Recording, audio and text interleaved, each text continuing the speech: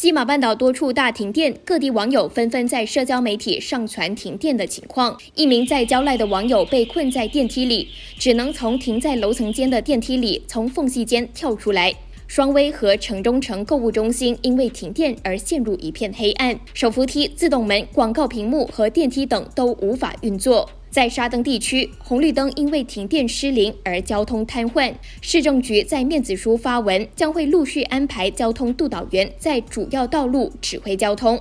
网上的照片也显示，吉隆坡国际机场因为停电而一片漆黑，乘客摸黑行走。在巴达林在野白沙罗的一座办公楼内，网友在漆黑的停车场中靠着微弱的车灯前进。